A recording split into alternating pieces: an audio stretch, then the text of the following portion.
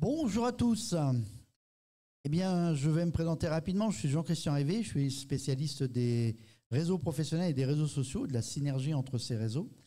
Et là, nous allons donc, euh, sur ce Social Selling Forum de Cholet, euh, faire une table ronde sur un sujet qui est passionnant, c'est pourquoi et comment choisir et exploiter ces réseaux en 2024-2025.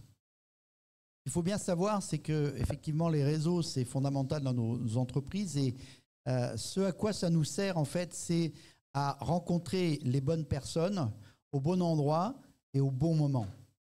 Et pourquoi est-ce que c'est intéressant? Parce qu'en fait, un réseau, c'est un flux. Il y a des gens qui rentrent, il y a des gens qui sortent de notre réseau professionnel, de dans notre activité. Et ce n'est pas un stock. Donc, on a besoin régulièrement de sortir pour rencontrer des nouvelles personnes. On a besoin ensuite de créer et de faire durer les relations. C'est pour ça que les réseaux, les événements, eh bien, c'est l'endroit où on va pouvoir régulièrement rencontrer les gens et donc à, ce moment-là créer des relations qui vont être solides, qui vont faire qu'on va pouvoir passer des synergies. Et la dernière clé dont je voulais vous parler avant de démarrer cette table ronde, c'est la notion de convergence. On a besoin de faire une convergence entre les réseaux numériques, les réseaux sociaux et les réseaux physiques, c'est-à-dire de rencontrer dans la vraie vie des personnes qu'on connaît à travers les réseaux sociaux et évidemment retrouver dans les réseaux sociaux, par exemple LinkedIn, des personnes qu'on a rencontrées dans la vraie vie. Donc je vais maintenant passer la parole à nos invités, à nos praticiens euh, experts. Euh, donc en un ou deux mots, vous présenter rapidement pour qu'après on puisse passer aux questions et surtout que vous nous disiez en quoi eh bien, ce sujet-là vous passionne. Bien bonjour, Pascal Bro. Donc, euh, je suis chef d'entreprise. Euh, j'accompagne des gens à diversifier leur activité sur la prévention santé.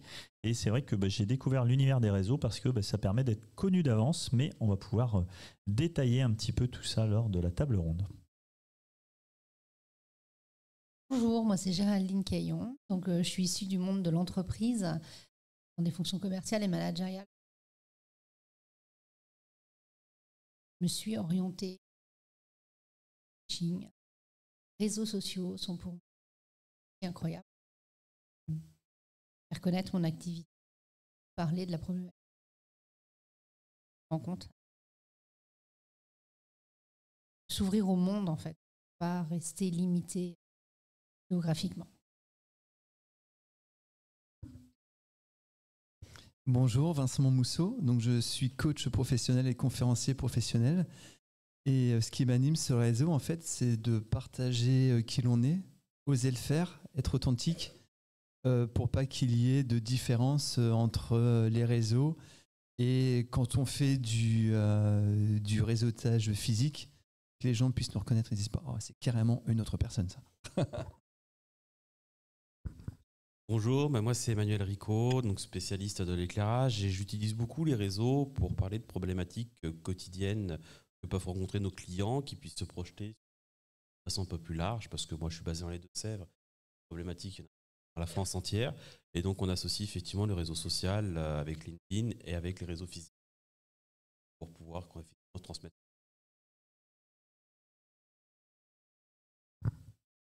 Tu attends une confirmation de ma part.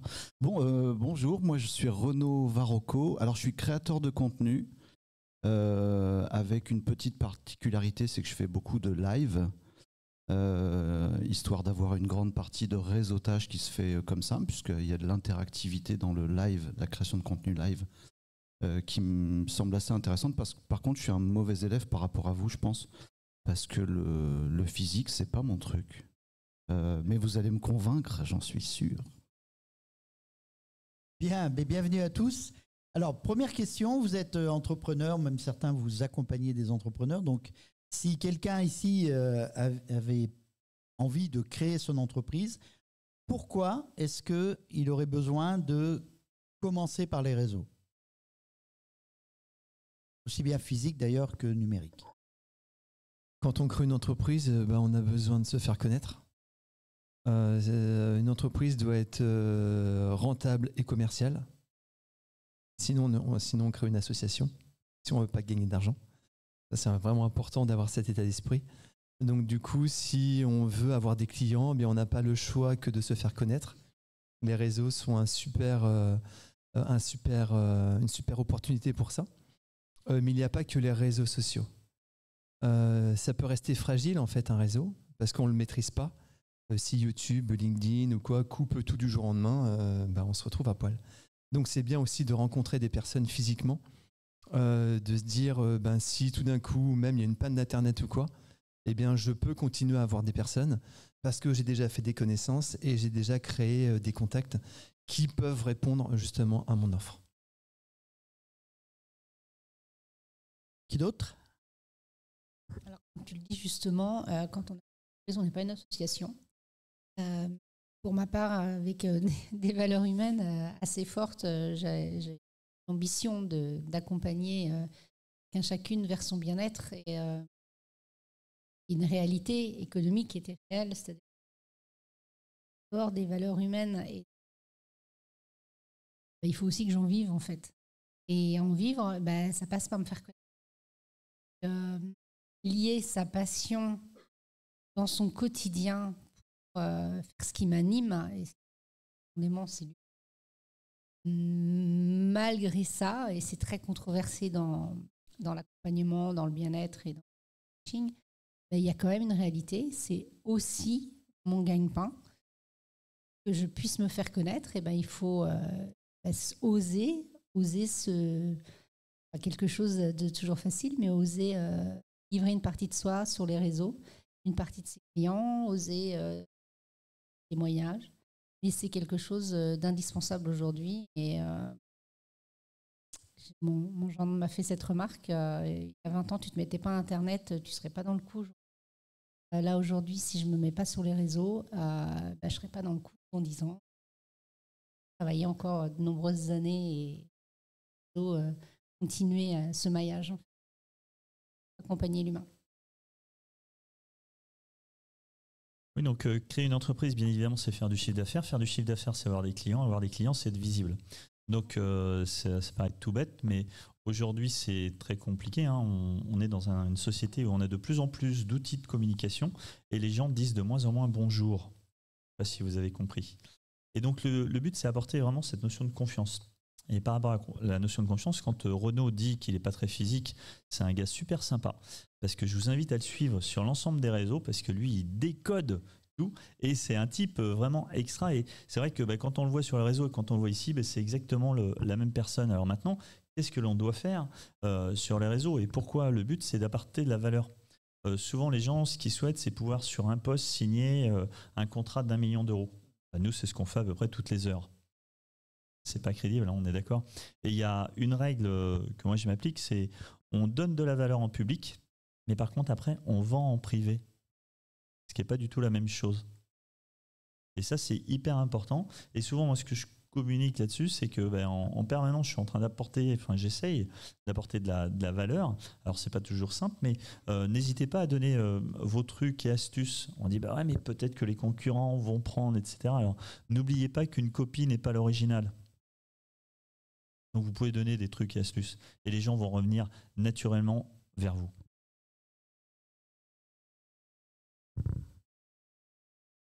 Bien sûr. Euh, oui, alors je pense d'une part qu'il y a une logique aussi d'échelle. Euh, quand on lance son activité, en fonction de son activité bien sûr, on a peut-être une volonté aussi de, toucher un maximum de gens très vite en leur montrant à la fois des témoignages clients, qui on est, euh, des retours, tout ce qu'on ne peut pas faire en physique, parce que croiser le chemin ou parler de ces témoignages clients à 4000 personnes en 10 minutes en physique, je... non, c'est pas possible. Euh, ou alors j'ai pas la recette, alors qu'effectivement sur les réseaux c'est jouable. Alors après, faut pas non plus euh, se dire que c'est le cas à chaque fois, qu'il suffit d'allumer TikTok et de faire un truc et que du coup il y a 10 000 personnes qui vont nous voir. Ça marche pas forcément et parfois c'est tant mieux.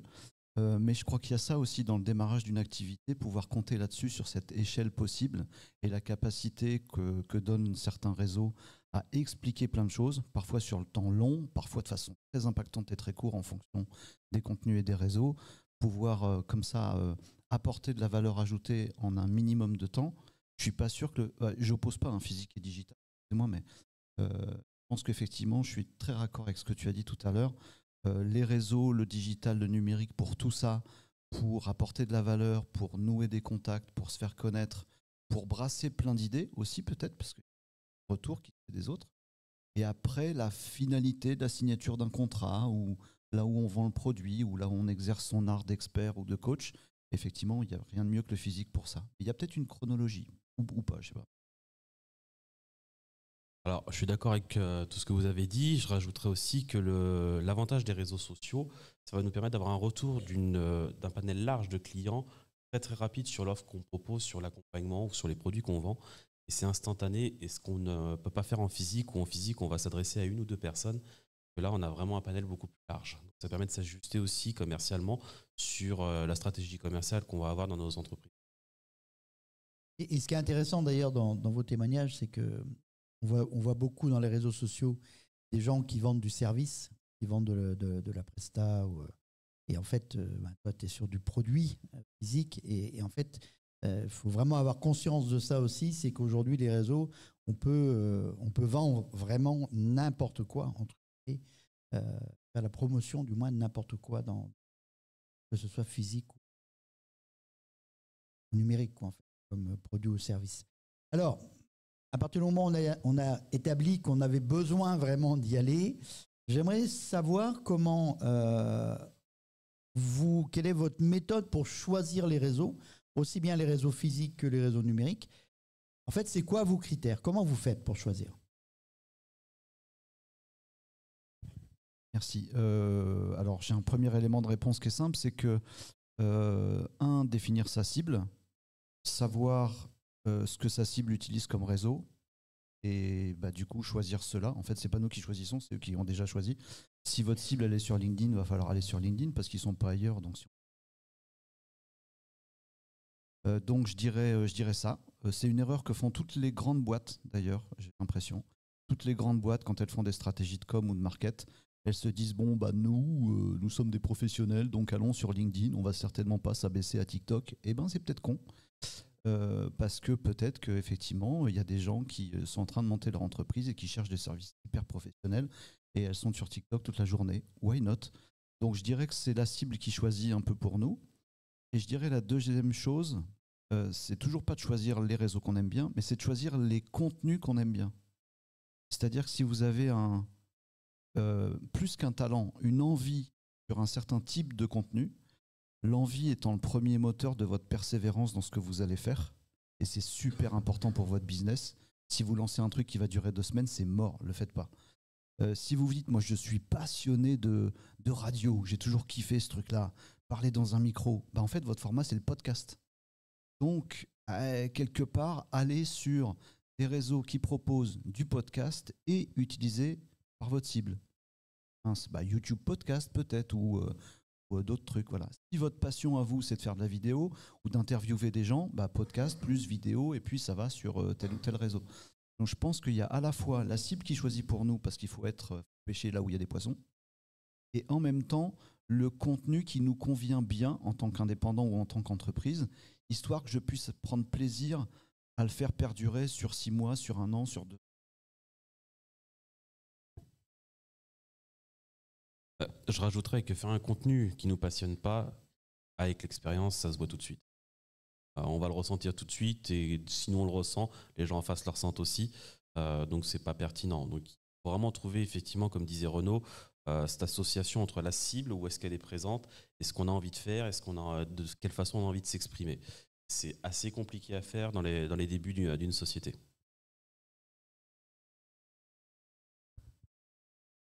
Quand j'ai commencé, euh, moi j'ai créé ma boîte en 2016 et euh, j'étais sur Facebook principalement et Instagram. Et LinkedIn, j'y étais, mais je publiais pas, ça me faisait un peu peur. Je dis, ouais, il y a tous les pros, qu'est-ce qu'ils vont penser? Je vais pas être à l'aise. Et euh, bah, à force, euh, j'y suis allé. Je faisais des lives sur Facebook. Et euh, au début, faire des lives sur LinkedIn, je me disais, euh, mais je vais me faire euh, démonter. Et en fait, non. non. Et, euh, et comme tu disais, Renaud, c'est vraiment aller là où il y a nos clients finalement. Moi, c'est principalement les chefs d'entreprise, donc bah, c'est sur LinkedIn. Même sur Insta ou Facebook, euh, voilà, il y en a et ça peut fonctionner également. Euh, mais, euh, mais vraiment aller sur un réseau avec lesquels on va être à l'aise au départ. Peut-être si on n'ose pas publier ou si on a peur un petit peu du, regard des autres. Et ensuite se dire, bah, ok, du coup, euh, bah, c'est pas si dur que ça. Euh, et faire en sorte d'être régulier, même si c'est un post par semaine, c'est bon. Euh, si c'est même un post tous les 15 jours, c'est ok. Pour après pouvoir améliorer, enfin pas améliorer, mais être plus présent et présente. Moi, j'ai publié longtemps tous les jours, pendant à peu près un an et demi. Là, maintenant, je le fais vraiment quand j'ai envie, c'est deux, trois fois par semaine, une fois par semaine, euh, ça, ça peut dépendre. Euh, donc, au début, c'est vraiment se créer une communauté. Et une fois que la communauté, elle est créée, euh, bah là, après, c'est vous qui donnez le rythme, en fait.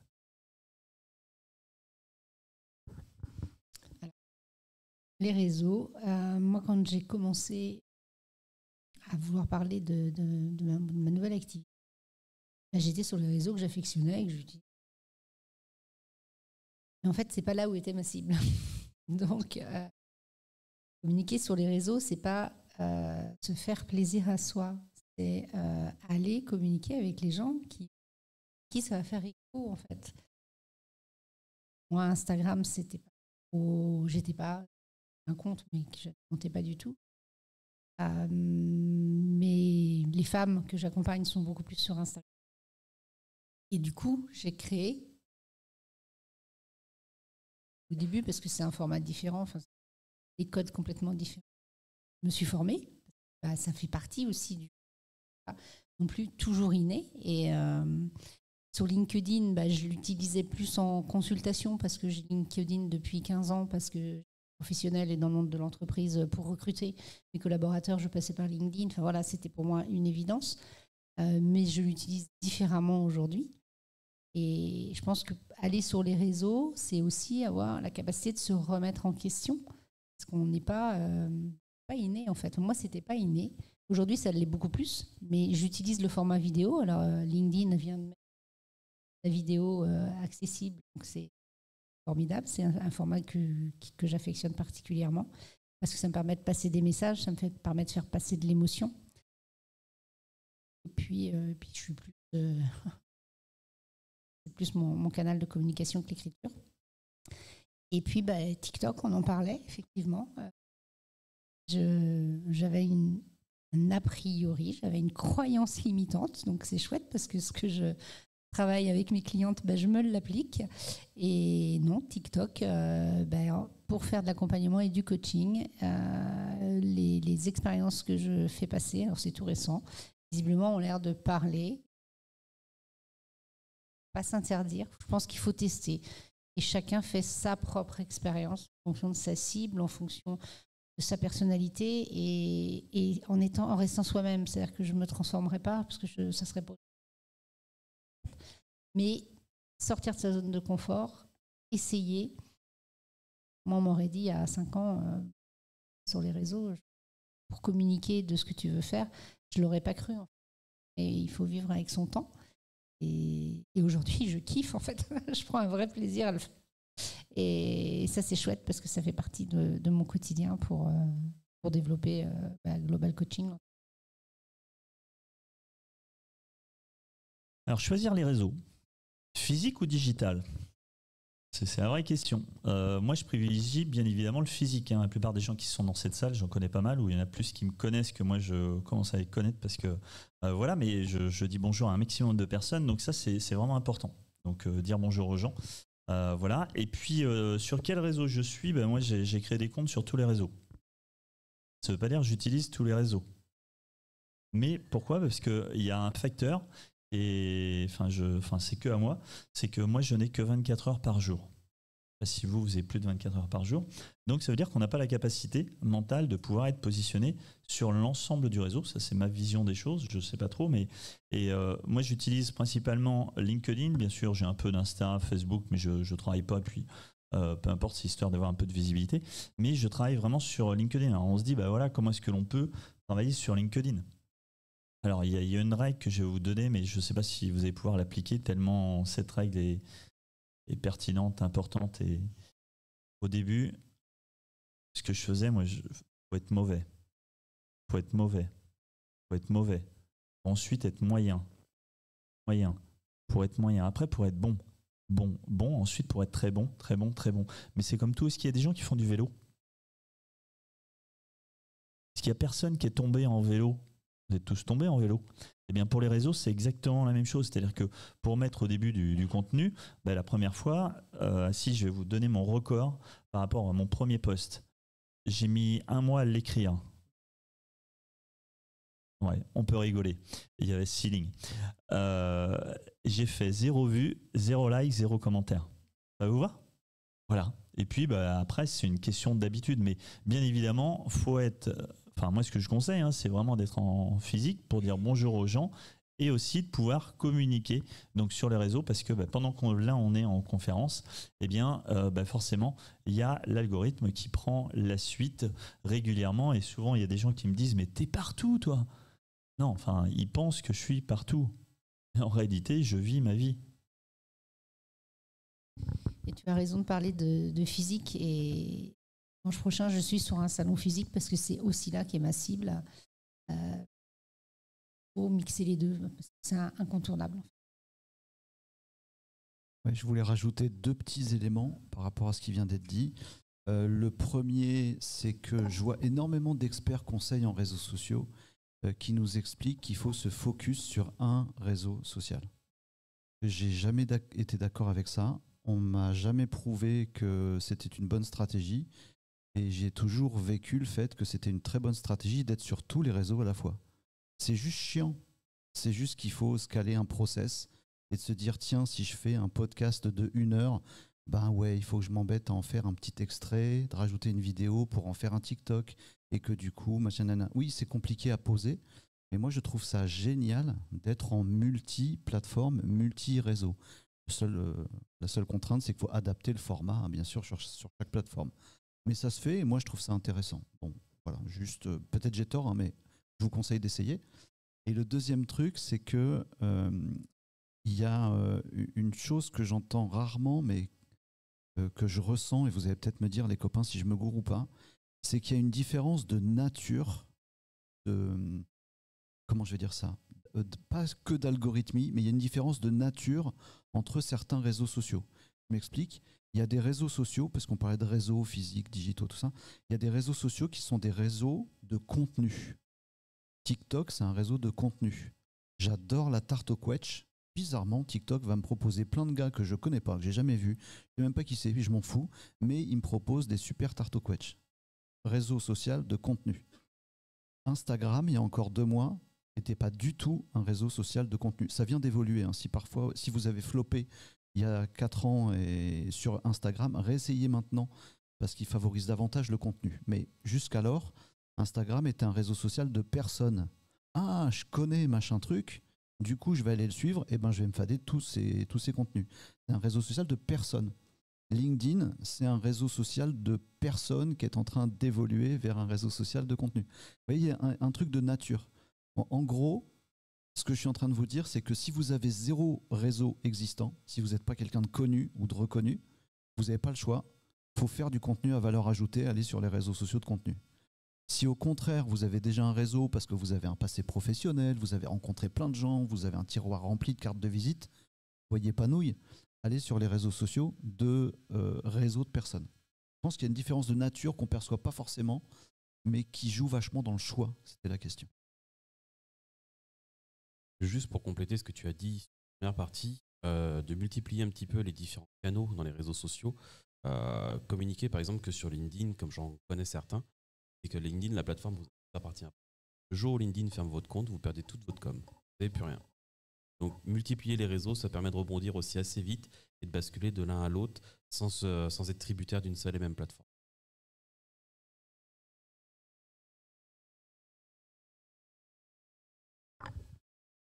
C'est bien ce que, ce que dit Renaud, d'être sur multiplateforme. Moi, je suis pas sur multiplateforme. Pour quelle raison? Bah, Parce que bah, j'ai dû appréhender la communication sur LinkedIn et on a besoin d'avoir. Euh, mais je, pense que je vais venir. Hein. C'est pour ça que j'ai invité Renaud. À chaque fois, il nous fait sortir euh, de, notre zone de confort. Mais je pense que je vais venir.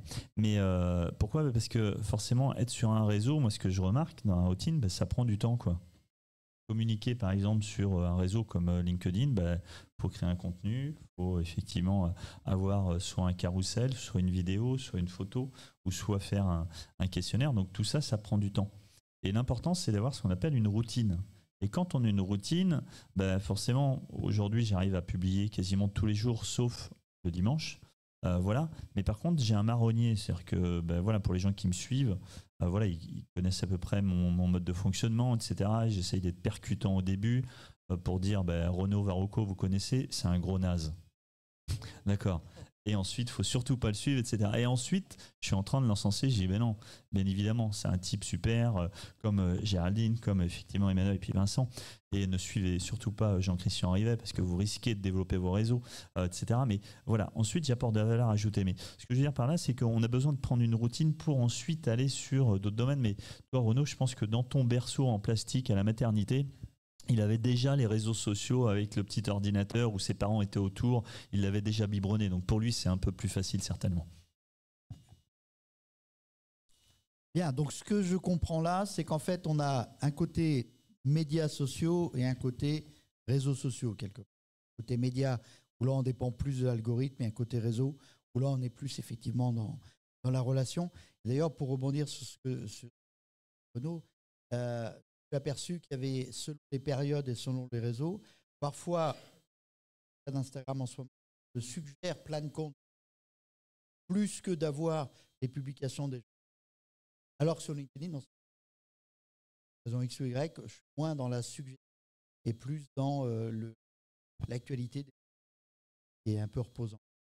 Déjà suivre les gens avec qui on abonné déjà du boulot, mais en plus, on a des suggestions en permanence, comme je suis quelqu'un de sensible aux faux mots. Euh, alors là, on a parlé de beaucoup, beaucoup de généralités, euh, et, je vais rebondir sur ce que tu dis, Pascal, quand tu dis la routine. Ben moi, ce que j'aimerais, c'est que vous me disiez, euh, alors je ne sais pas combien de temps il nous reste, mais que, que, vous nous parliez de la façon dont vous faites les choses. C'est-à-dire, c'est quoi pour vous créer du contenu? C'est vous, vous y passez combien de temps? Voilà. Alors Prenez pas une demi-heure chacun pour expliquer ça. Mais parce que je vous demande ça parce que je m'aperçois que euh, parfois, quand on est euh, quelqu'un de très actif dans les réseaux, on ne se rend pas compte à quel point ça peut être impressionnant pour quelqu'un comme, dit, comme toi qui a un autre métier. quoi. En fait, hein. il y a beaucoup de conseils qui sont donnés par des gens qui font que du LinkedIn et qui le et les conseils sont pour des gens qui feraient que du LinkedIn ou que des réseaux. Donc là, j'aimerais savoir comment vous intégrez en fait démarche réseau dans votre métier de base, puisque euh, bah, c'est quand même. Hein. Euh, pour ma part, euh, j'ai un petit carnet où je vais noter des idées. Et après, je vais poster ces, idées. Alors, soit pendant longtemps, j'ai fait la veille, je programmais ce que sur LinkedIn, principalement, on peut, on peut programmer la veille. Donc, je faisais ça pour que ça sorte le lendemain. Ce qui est important aussi, c'est de pouvoir répondre aux commentaires et aussi de nous d'aller mettre des commentaires. Donc ça, euh, mettre ça dans sa routine, c'est pas juste poster. Je poste, je ferme tout et je recommence euh, la prochaine fois. On a besoin d'être présent, on a besoin de faire des interactions, euh, de faire des partages, de commenter, d'interagir sur d'autres posts. Ça vous fait énormément de visibilité. Parce que ce qui est, enfin, avec LinkedIn, du moins, ce qui est sympa, c'est que quand vous allez publier, enfin, ou liker sur un post, tous vos, contacts vont voir que vous avez liké ce post.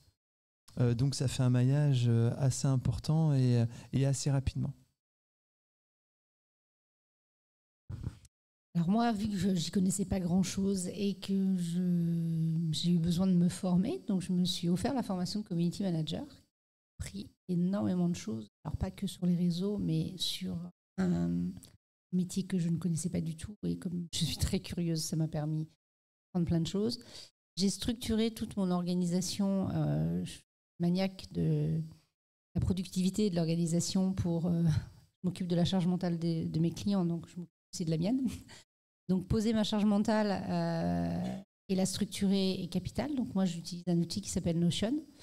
et j'ai en amont Marine nous en a parlé ce matin, euh, mis en place une stratégie marketing et de communication pour savoir qui je veux toucher, qu'est-ce que je veux faire passer comme message, quels sont les, deux sujets euh, principaux. Donc moi, aujourd'hui, les deux sujets principaux, c'est la charge mentale des jeunes mamans et euh, des personnes endeuillées. Et donc j'ai structuré. euh, le lundi, je communique sur euh, tel réseau sur un sujet qui va parler euh, aux personnes que je vais accompagner. Le mardi, je vais communiquer sur LinkedIn.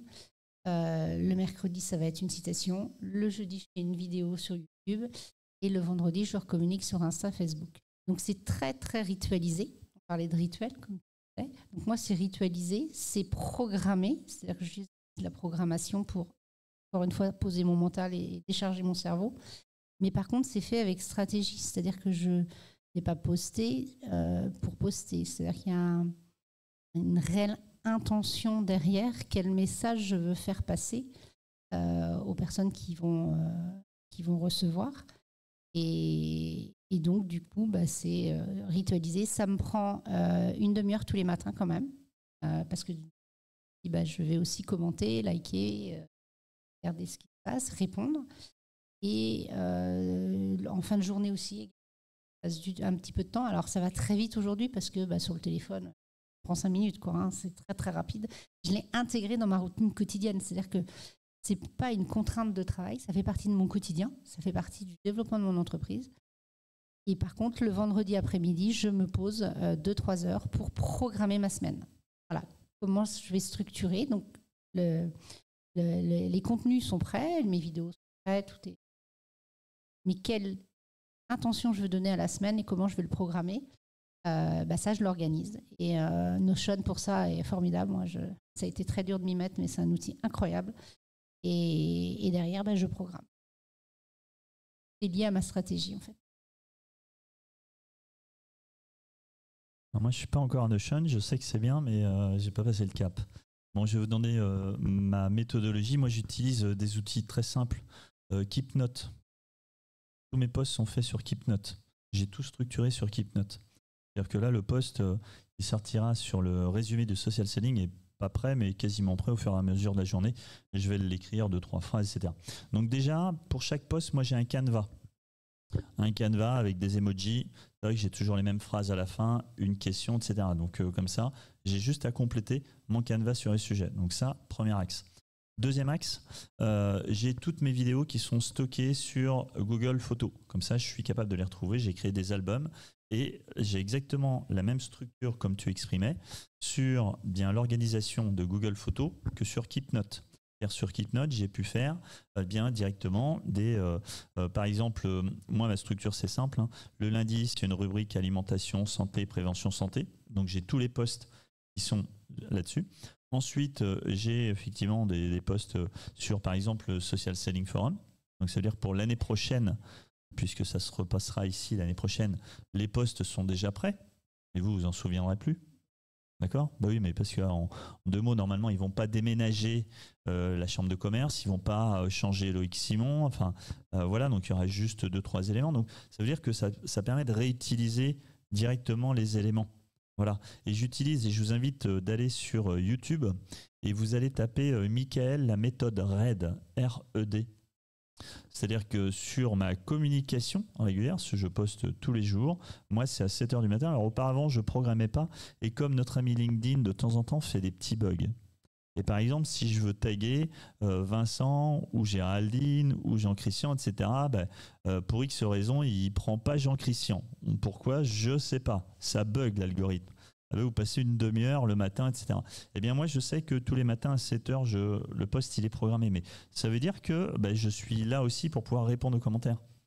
J'utilise l'outil à mon service pour pouvoir ensuite répondre aux commentaires directement. Et moi, sur toute la semaine, ben, c'est planifié et j'utilise la méthode RAID. Alors, méthode RAID, très simple, euh, ça permet de faire réfléchir. Le but, c'est de faire réfléchir votre audience sur une thématique par rapport à vous. C'est aussi de l'enrichir, c'est-à-dire lui donner des trucs et astuces, et aussi de la divertir. Et moi, j'ai toujours ma rubrique du samedi pour les gens qui peuvent me suivre. hein. Hein, euh, j'ai une rubrique le, samedi où c'est totalement euh, décalé euh, directement. Eh bien, bah là, ça permet de, voilà, d'amuser l'audience. Mais voilà un petit peu sur la routine, comment je fonctionne. Mais par contre, je fais des commentaires. Dans les commentaires, il y a deux types de commentaires. Il y a les commentaires pour être visibles, pour dire coucou Sophie, je suis là, etc. Enfin, super, machin, etc. Et puis il y a des commentaires sur lesquels ben, je suis en train d'apporter de la valeur ajoutée. Parce que le but, c'est de pouvoir être visible et d'apporter de la valeur ajoutée. Voilà. Voilà un peu dans ma routine. J'ai répondu à ta question? Alors moi j'ai une approche un petit peu différente parce que je pense que j'ai un métier qui diffère un peu où je vends beaucoup plus de produits euh, que de prestations. Euh, c'est que moi je vais utiliser à la fois le réseau, le, réseau social, c'est que je vais souvent planifier ma semaine en fonction des, premières euh, rencontres que je vais faire en physique. je vais axer en second temps partie moi de, clientèle et de qui me prend beaucoup de temps. Je vais axer un poste souvent à la base sur mon site internet, sur un blog euh, que je vais dériver ensuite sur LinkedIn et peut-être sur un Facebook ou un TikTok derrière. On va multiplier euh, les plateformes, mais on va le faire en plusieurs étapes. On ne va pas publier sur les trois en même temps. On va d'abord faire un LinkedIn, on va suivre avec un Facebook après, ou un TikTok après, moi derrière. Donc en fait, on a toute une base de contenu euh, qui parle de nos problématiques qu'on va développer en cours d'année. Et on va effectivement faire du voir tous les 15 jours donc on associe vraiment les deux pour avoir une stratégie euh, qui permet de toucher toute la cible.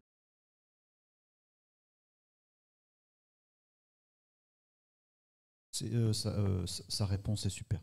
moi, je ne vais pas détailler mon process parce que c'est un truc de psychopathe et faut pas, faut pas faire ce que je fais en gros. simplement en complément, je vous conseille des, des outils. On aime tous bien les outils, mais d'abord vos process et votre organisation, les outils après. Donc, on parlait de Notion. Moi, je ne peux pas le pifre. Mais il paraît qu'il est vachement bien. Euh, moi, je vous conseille euh, Feedly, un super outil si vous avez de la veille à faire sur votre marché, vos concurrents, ce que vous voulez. Ça permet de vous alimenter en plein d'idées. Je vous conseille euh, Metricool, qui n'est pas super connu, mais qui est une plateforme géniale pour programmer les publications, pour suivre tous les commentaires qui vous arrivent et répondre directement dans un seul endroit sur tous vos réseaux sociaux pour euh, qui gère la vidéo. Enfin bref, c'est Outsuite en, en dix fois mieux, euh, qui fait vos stats, qui fait tout au même endroit, ça, prend vachement moins de temps. Et qu'est-ce que je peux vous recommander d'autre S'il y a les limites psychopathiques, euh, des outils d'automatisation, du genre Make ou Zapier. Je que c'est un petit peu geek, mais pas tant, ça va. Et si vous associez des outils d'automatisation avec bah, de l'IA, bouchez les oreilles de Loïc euh, donc un, bon, une bonne petite API euh, ChatGPT, des choses comme ça, vous pouvez faire des dingueries euh, comme ont été cités ici. Donc par exemple, bah, vous faites vos petites vidéos YouTube et c'est tout. Et vous avez un petit automatisme que vous avez fabriqué vous-même qui tourne tout seul, qui surveille votre YouTube. Dès qu'il y a une vidéo, il prend l'audio, il la publie directement en podcast. Dès qu'il y a une nouvelle vidéo, il en fait un petit résumé par ChatGPT, il va tweeter. Bref, vous vous embêtez 4 heures à le faire mais après vous ne foutez plus rien et ça diffuse automatiquement sur l'ensemble des réseaux. Il faut quand même prendre du temps pour le peaufiner et pas que ce soit tout. Donc voilà, Make, euh, le monde de l'automatisation et de l'IA, je vous conseille vivement de regarder.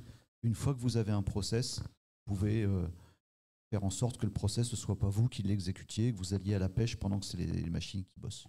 Il est super Renault, faut le suivre parce que là il m'a perdu. Hein. donc euh, je sais pas s'il vous a, voilà, mais là là il m'a perdu sur. Euh, ouais, mais mais ça doit être super hein, ce que tu fais. Hein.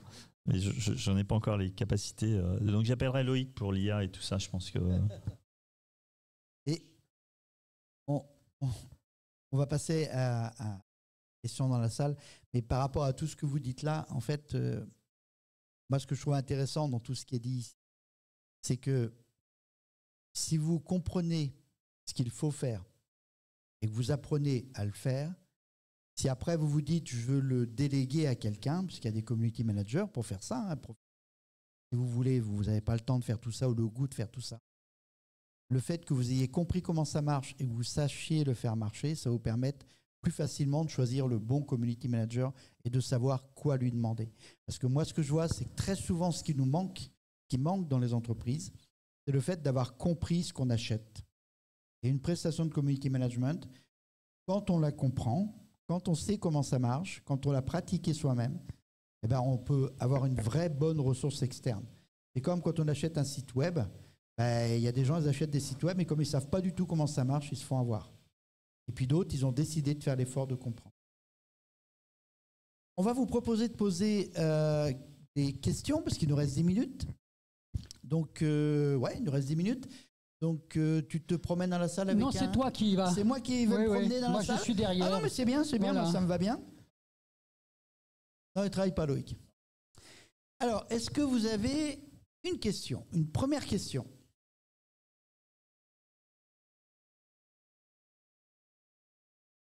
Oui, oui, oui, oui, oui. Ah ben, c'est- il y en a deux en même temps. C'était le dernier logiciel. J'ai pas entendu parler, euh, maîtriser. Ah, Dernier, pour, euh, pour planifier sur tous les réseaux. après Metricool. Metricool. Metri comme euh, Metri et cool comme cool. J'ai pas d'action, mais il est vachement bien et il gère la vidéo pour le coup. Euh, pardon, j'en profite pour rebondir. Ce que tu as dit euh, là, juste là, c'est top. Il faut vraiment que vous l'entendiez tous. Euh, déléguer, bah, de toute façon, globalement, dans le monde de l'entreprise, c'est comme ça. Déléguer, ça veut pas dire euh, vas-y, fais à ma place, démerde-toi. Se débarrasser. Ça veut oui. dire je me suis bien saoulé à le faire moi-même deux fois, j'ai pigé et je le délègue. Soit à des gens, comme tu as dit, soit à des IA, à des machines, à des trucs qu'ils font pour vous.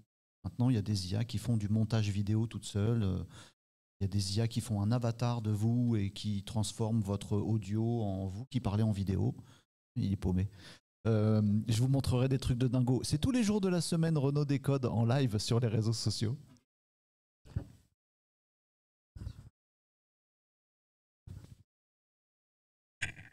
J'avais une question par rapport au contenu. Euh, pour parler de contenu, donc d'un point de vue, euh, si on veut développer par exemple d'un point de vue artistiquement le contenu, est-ce que ça diffère au niveau des méthodes ou on va rester dans la même méthode euh, dans l'engrenage pareil?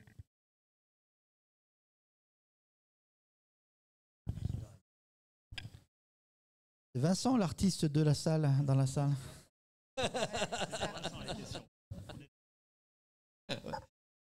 Est-ce que tu pourrais répéter la question, s'il te plaît? Pour avoir le temps de réfléchir. Pardon, excusez-moi. En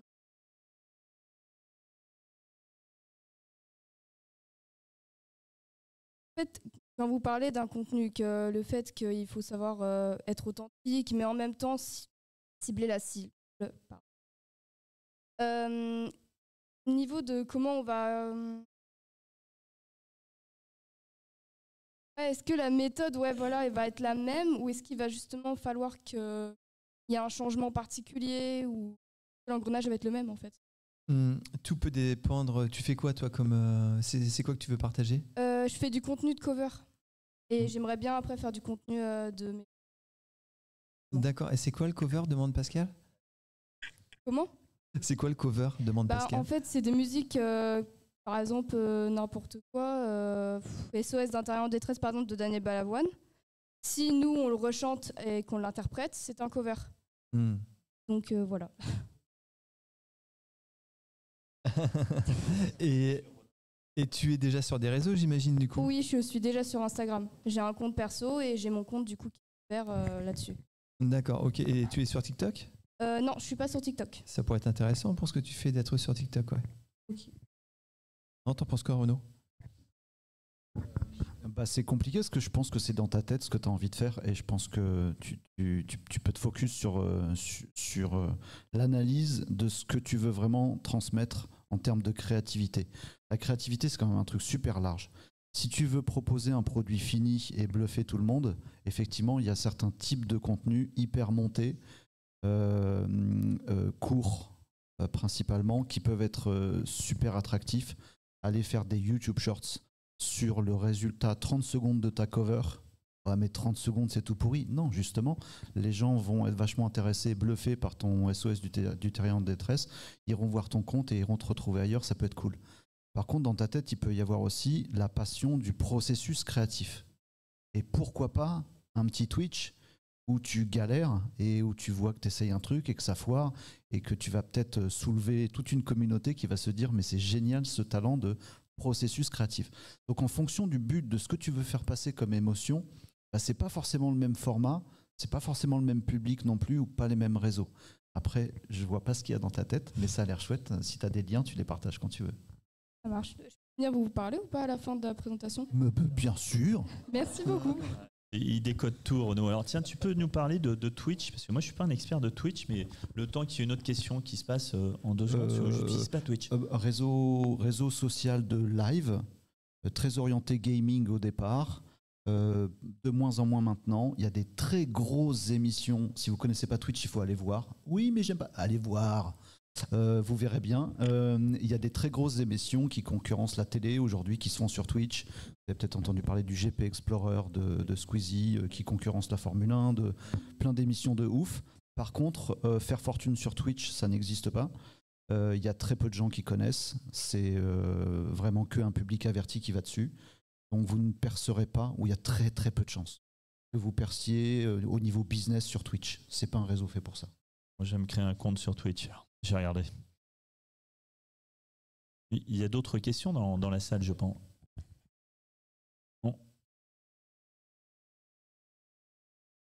Il n'y avait pas de questions, semble-t-il, donc c'est pour ça que j'allais passer à la conclusion.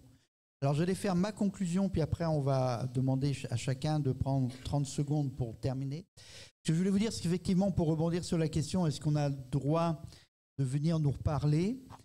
Je, bah, je pense que oui, hein, c'est, euh, on n'est pas à la télé. Euh, c'est plus qu'un droit d'ailleurs de venir nous parler, je, je pense que c'est un devoir, puisque vous voulez investir votre journée. Euh, tous les sujets qu'on a abordés là, ce qui est très intéressant, c'est qu'ils sont détaillés tout au long de la journée. C'est-à-dire que là, euh, si à un moment donné vous posez des questions sur le contenu, sur le côté vente, sur le côté euh, euh, double activité, le côté créatif, etc. Enfin, en fait, vous, allez avoir dans, les, trois ateliers, vous pourrez aller voir ou table ronde à partir de, tout à l'heure, vous allez avoir plein de détails sur tout ça et avec des ateliers qui sont encore plus interactifs. Donc surtout, mais lâchez-vous, pressurisez les intervenants, discutez même entre vous, puisque vous voyez, il y a peut-être quelqu'un qui se dit, ah bah tiens, moi aussi, je suis dans une démarche artistique, on pourrait. Donc vraiment, prenez cette journée et, euh, et allez chercher toute la richesse qu'il y a dedans. Parce qu'en fait, là, on, est tous là pour, euh, pour euh, apporter notre expérience, notre vécu, mais on ne peut pas tout vous donner. Donc, il faut que ça vienne de vous, les questions. Parce que si on commence à vous raconter les 20 ans de boîte qu'on a, ça, va, ça va être un peu compliqué. Euh, puis ça va être chiant en plus. Euh, 30 secondes chacun pour euh, nous faire une petite conclusion? Donc, euh, bah, si on veut être vendu, il faut être vu.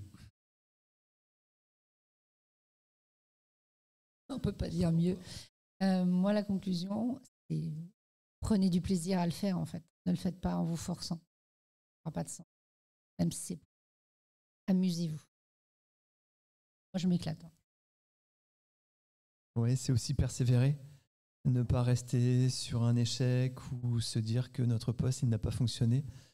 Ça va fonctionner à force, à force, à force. Et euh, si on persévère, forcément, euh, ça ne peut que fonctionner. Euh, tous les gros youtubeurs, ils sont partis avec zéro abonné en fait. Et souvent c'était la famille au départ et maintenant ils explosent, mais parce qu'ils font ça depuis longtemps, ils sont réguliers et ils prennent vraiment du plaisir, comme tu dis. Ils prennent du plaisir à faire ce qu'ils font. Alors, ben, je ne vais pas faire plus que vous dans la conclusion. Je vais juste donner un conseil. Euh, on parlait de réseau physique et digital. Euh, sur l'un ou sur l'autre, restez vous-même. Vous inventez pas un personnage. Il faut rester comme on est dans, la façon de communiquer sur les réseaux sociaux, comme on est dans la vie, comme on va être dans les réseaux physiques. Il faut pas changer. Euh, yep. Je peux faire une, syn- une synthèse de ce que vous avez dit. Non, tout ça est très juste, à mon sens. Il faut trouver un juste équilibre euh, entre euh, ce qu'attend votre public et ce que vous pouvez faire sur votre marché, je parle d'un point de vue business, et ce qui vous passionnera et vous ressemblera le plus euh, au point que vous continuez à le faire pendant des années. Cet équilibre-là, parfois il existe, et parfois juste il n'existe pas. C'est pas grave. Mais sachez-le, parfois on s'évertue à faire un truc en disant mais ça va marcher mes carousels sur euh, la mécanique automobile sur LinkedIn parce que c'est ça qui me passionne dans la vie. Non, si ça se trouve il n'y a pas de marché, il n'y a pas de business et c'est pas grave. Faites-le pour vous éclater ou le faites pas. Mais c'est vrai qu'il y a un cas dont on parle jamais dans les social selling forums, c'est que parfois il n'y a pas le marché ou euh, ou ça marche pas où il n'y a rien à faire, où il n'y a pas encore le réseau social TikTok n'était pas encore sorti avant que TikTok sorte, et ben, il y a plein de choses qu'on ne pouvait pas faire. Gardez vos idées en tête, euh, maternez-les, euh, couvez-les, et peut-être qu'à un moment ou un autre, il se passera une euh, conjonction de planètes qui vous permettra de, de faire un carton. En résumé, trouvez votre Ikigai réseau.